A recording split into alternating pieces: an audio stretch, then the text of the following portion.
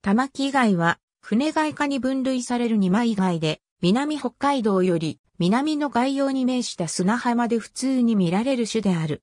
殻は円形で厚く、角標は平滑。生貝はビロード状の殻側をかぶる。殻長さは約7センチメートル以下。角標の模様は変異が多く、淡い栗色からほとんど白色のものまである。内面は白色。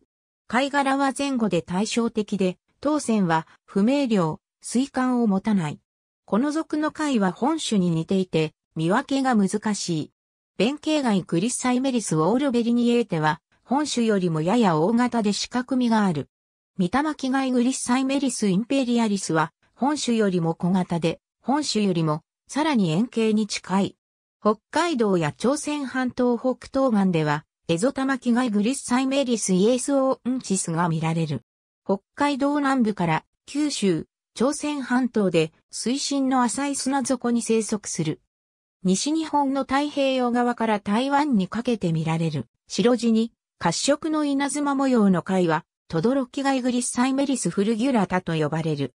化石の調査結果より、玉木貝は、トドロキ貝から派生した新しい種と考えられる。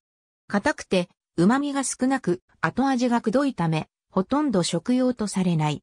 縄文時代初期に腕輪の材料とされた。缶には輪形の送信具の意味がある。ありがとうございます。